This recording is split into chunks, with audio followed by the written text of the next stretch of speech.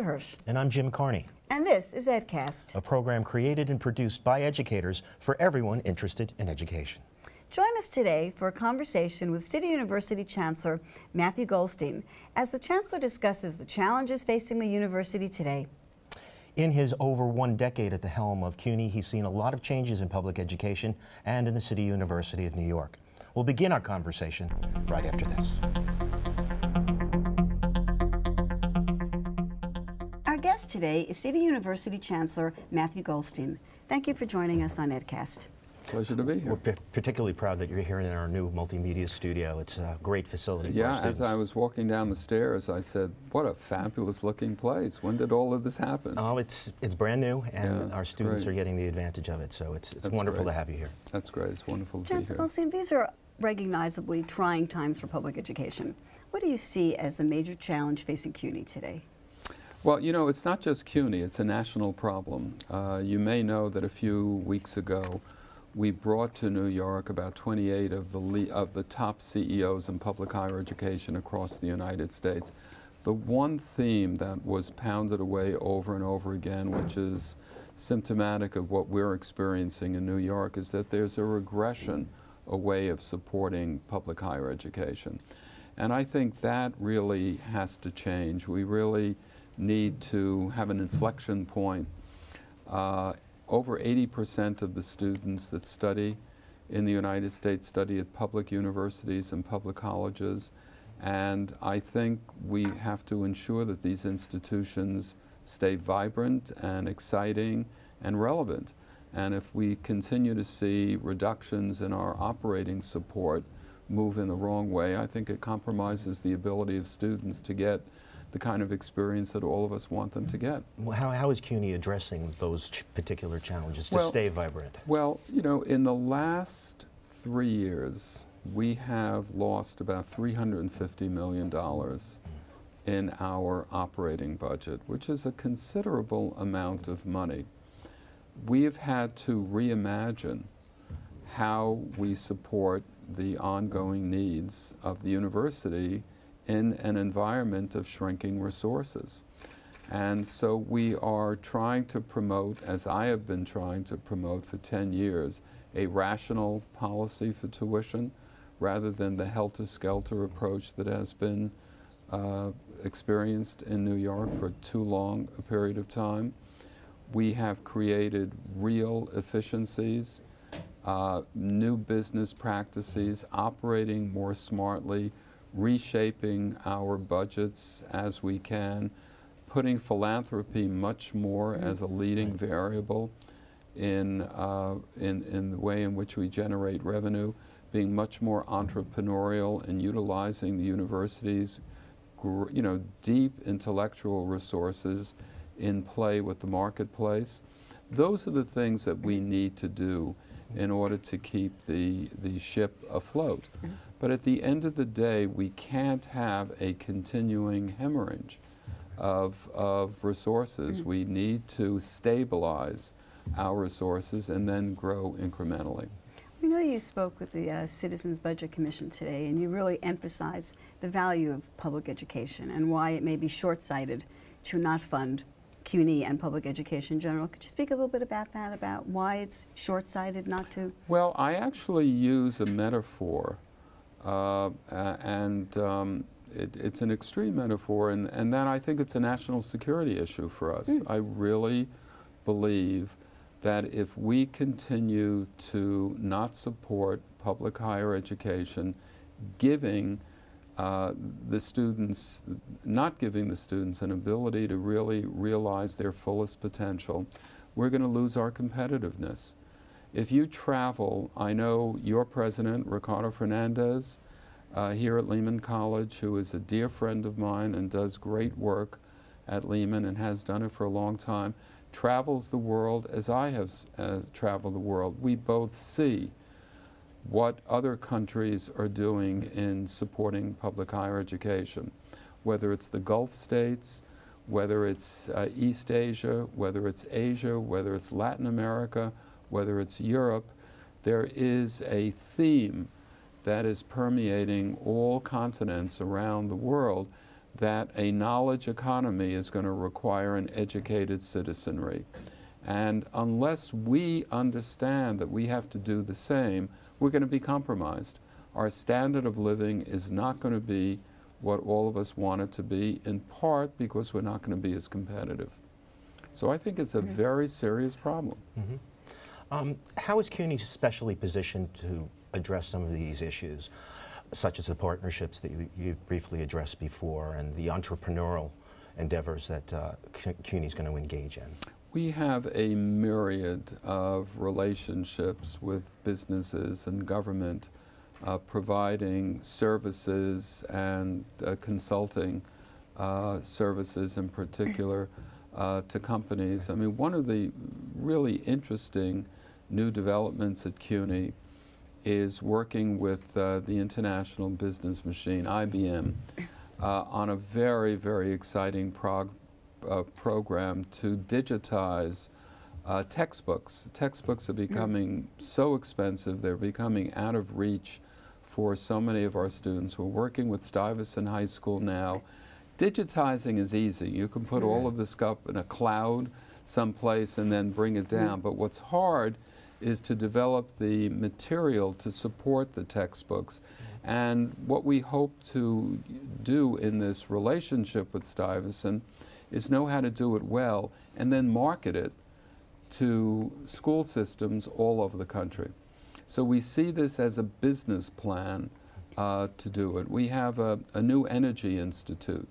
We, requi- we um, uh, recruited Sanjoy Banerjee as one of the world's leading experts in energy. We recruited him from the University of California at Santa Barbara.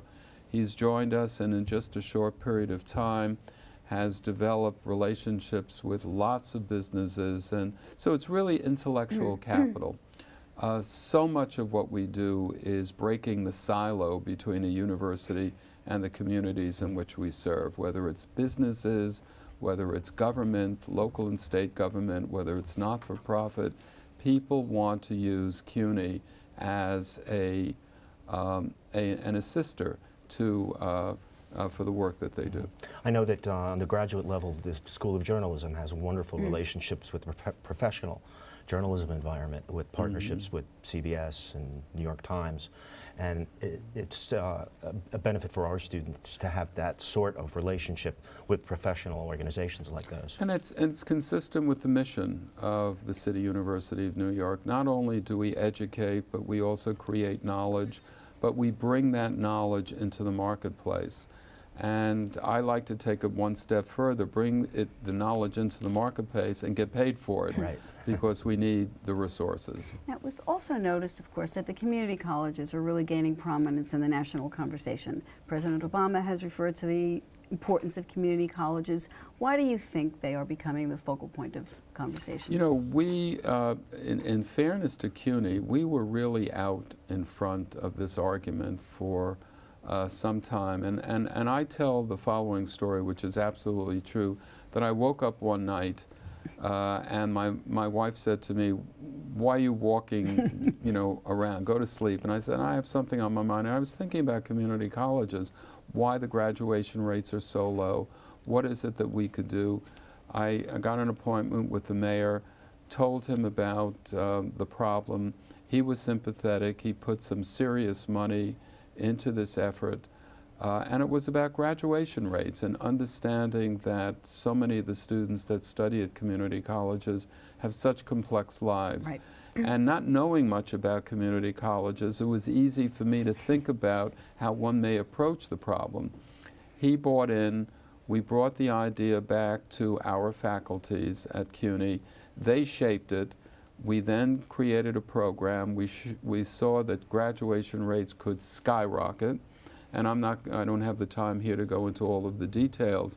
But from that, we scaled it up by establishing a new community college based on the principles that we learn from this uh, set of ideas. 45% of the students that study at universities in the United States study at community colleges. 20% of the doctorates that were conferred in 1998, in 2008, at mm-hmm. universities in the United States were from students that started at a community college.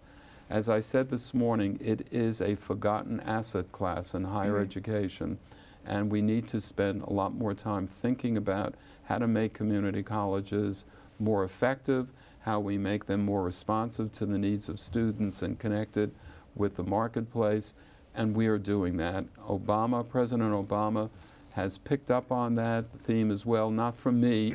he had it independently. Arne Duncan, Secretary of Education. Community colleges are in play, and that's a good thing. And what do you think they provide um, so that our viewers who are watching may not be thinking about why the community colleges become so important? You mentioned the, the large numbers of students who go there. What do you think they offer these students that they may, those students who may not be going right into a senior college? Unfortunately, too many students that are graduating from secondary school today are just not ready Well, for we know the sobering statistics. Big, big article today Yes. in the New York Times, study commissioned by the State Education Yes. Department in the regions mm-hmm. shows an appallingly small percentage of students that graduate from high schools in New York State are not ready for the rigors of what a collegiate experience will require. That must be a tremendous uh, challenge then for CUNY. It's a tremendous, and we know this. We've known this for some time. This is not new to us because we take the students. Community colleges are really the first face, the, the initial conditions under which students experience um, university life. And so that's why I think they're so important. They do, as part of their very basic mission, they take students who are not prepared uh, for college level work and remediate those deficiencies and keep them engaged and then send them on if that's what they want to do or remediate the deficiencies and give them skills that the marketplace rewards. So I think those are just so fundamental in keeping the society vibrant. And CUNY is well placed. We have some really fine community colleges that can really We have address wonderful those community needs. colleges with great faculty, great presidents, and we're all moving in the same direction. A part of uh, the economy we talked about earlier, but uh, in downtimes when people lose their, their jobs, they make a decision to go back to school. Are we seeing a lot of people coming back to CUNY or into CUNY uh, uh, for training, for retraining, and for changing careers? CUNY is experiencing record enrollment. It's experiencing record enrollment, I would believe, for two reasons. One, the burnishing of the reputation of CUNY.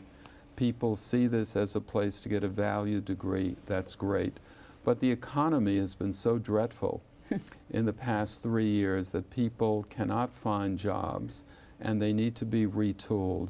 And CUNY is a place where they are coming to to retrain, to experience new career opportunities, and we see this as a very basic mission for us. Uh, I know that um, many of the CUNY campuses have already been involved and are continuing to be involved in the Foundations of Excellence program, the John Gardner Institute, which is really a way of making sure that that first year experience, be it for uh, a freshman or even a transfer student into the university, that they're given a really positive experience or a way of really being ready to go on to either finish the community college or transfer on to the senior college. So we really have a lot of things in place and in play to really get our students ready. We talk a lot about careers and technology and the focus of the university preparing students and what makes us wonder, um, what do you feel is the role of the humanities today in terms of education? I am a big liberal arts and science smiling guy. when I ask. I really am. You're I, in the same I mean, I, if, if I had my wish, I would get away with majors and allow students to really immerse themselves in an exploratory journey. I mean, when I, I studied mathematics, but the most, the courses that I really embraced when I was at CCNY were literature classes, music classes, philosophy classes that I typically would not think about. But when I think about the professors I had and the interest in reading, and I'm a big reader, it really started with those experiences with faculty. I'm a big opera fan. I never understood or went to an opera when I was a kid, but I did experience the opera once when I was with um, a, a, a course in 20th century American music. I did go to the opera. Mm-hmm. My friends were wise guys in the class, and they whispered to the professor, Matthew went to the opera last night. And the, and the, and the professor said to me, So what did you So think? what'd you think? Right. And I thought I would die. And I said, Well, I think the, the tenor was weak, not having a clue what I was saying. And the professor looked at me and said, I agree with you. I was there too, and it was weak. And I said, Wow, that And was that a good. emboldened you from then on. So I, I believe deeply in the arts, the humanities, the social sciences, the natural sciences. Unfortunately, today, too many students around the United States are just so career oriented. And if you ask a student today, why did they go to college? It's about wanting to get a job. And it has to be balanced. So how do we balance that in our own university? Is there a way that we can balance that for students? I mean, I know it's a fast-paced digital world, but is there a way that we can Well, I think we need to take general education very seriously uh, at both our, our baccalaureate institutions and our associate degree programs. And that's where students really get the first experience into literature, into the arts, uh, into the social sciences. And I think we have to do a good job. We have to, you know, this is not a, um, an experience that they bemoan that they have to experience. This is something we ought to try to get them excited about. If someone wakes up and, and wants to be an accountant by the, by the time they're eight or nine years old and then takes a poetry class and says, you know, I want to do something else, I think that's a good thing, Even if we lost an accountant. even if we lost an accountant. We had Roosevelt Montas on the program from Columbia University, and he talked about mm-hmm. the value of the humanities. And Yeah. his basic point was, I think, that the humanities help us answer the question, what it means to be human, and that that's something that all of our students should be thinking think about, and that's that the kinds of thinking that you have to do in the humanities Right. can make us better as citizens. Um, Right. Well, you've been on the job now for over a decade. Look- Yes. looking back, what, what are some of your proudest accomplishments in that decade at CUNY? Really knowing that as chancellor, you can make a difference. You can make things happen. Uh, I was very proud to go to CCNY. Me I had lots of Another opportunities graduate? for private universities. I just had no money. And so CCNY really opened up my eyes to a wider world that I didn't know. I mentioned the opera, I mentioned literature, I mentioned mathematics. These were things that really inspired me. I want to be able to give that opportunity for students who, like myself, were clueless when I went to City College. And so for me, making people be excited about CUNY again, and so many people lost respect for where the university was, creating a valued degree, giving students a real opportunity to realize their fullest potential. That to me wa is the most rewarding experience uh, in the job as chancellor. Uh, we have a Macaulay intern who asked us to ask you one question. Um, Yes. What do you see the difference in the university from when you were an undergraduate as it is today? It's a much bigger, much more complex place. When I went to, well, CUNY didn't exist. There were just a few federation of campuses. We were small. There was no diversity, very little diversity. It's true. Uh, to me, it's a much more exciting place today. We want to thank you so much for joining us today on EdCast. It really was a pleasure. Pleasure to see you It's been great to have you here. We Thank really you. appreciate it. Happy We'll to be here. back right after this. After our studio conversation, Chancellor Goldstein walked across the Lehman campus to meet with the faculty and staff of the college. So, uh, without any further ado, let me introduce Matthew Goldstein, CUNY Chancellor, good friend.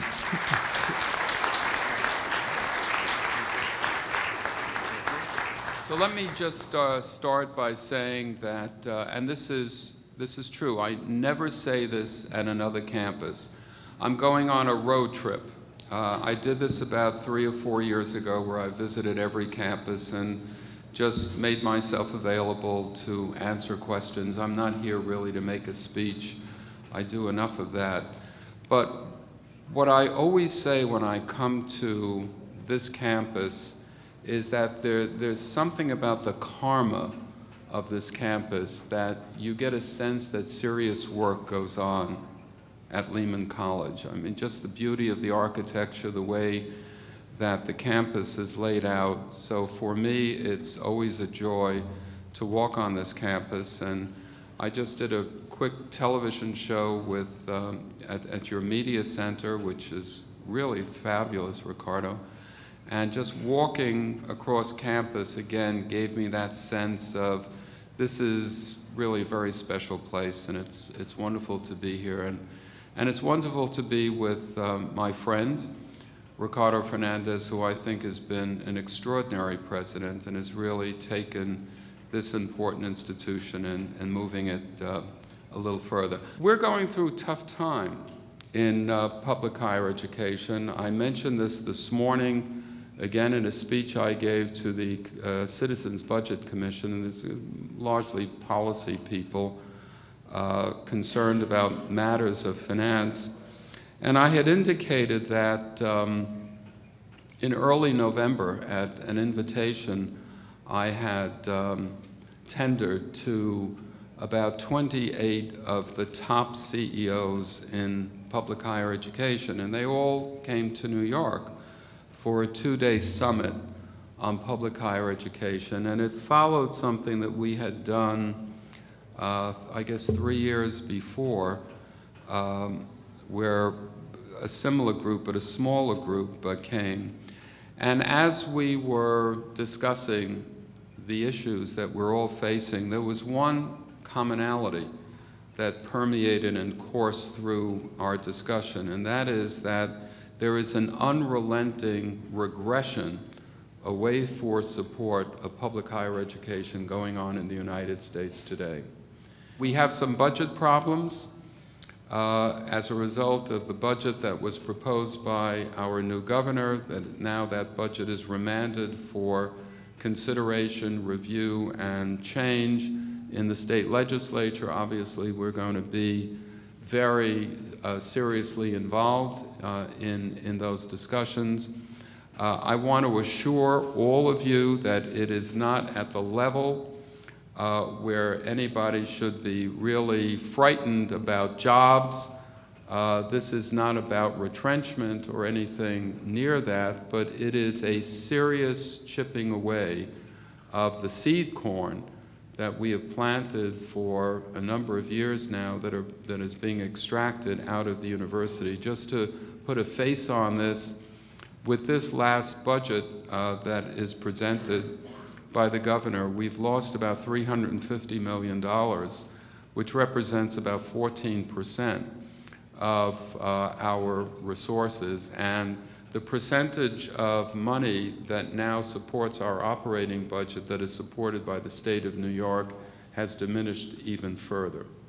So universities like CUNY are going to have to reimagine how they behave in the marketplace, how we are going to find ways to keep the university vibrant and exciting so that when students come, they are given an opportunity to really transform their lives. I'm using elliptical language here, but I believe that that is the case, that students do come, they look to change their lives, and I can't think of a more noble thing uh, than to help them do that, but at the end of the day, we're going to need resources.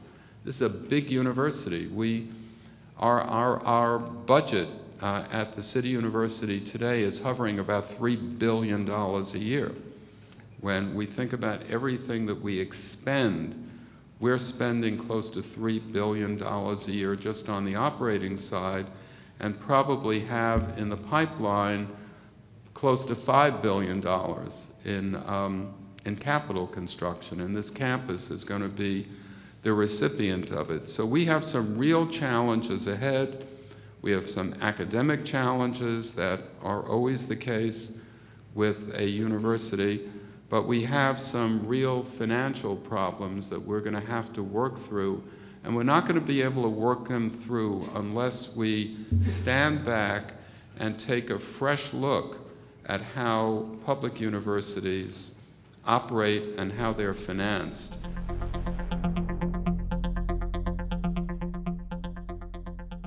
Welcome back to this edition of Ed Bites. It seems test taking might actually be a way to learn something after all. The New York Times reports on research in the journal Science stating that students who read a passage and were tested on their recall retained about 50% more of the information than students who either spent a lot of time restudying the material or drawing detailed diagrams of what they were learning.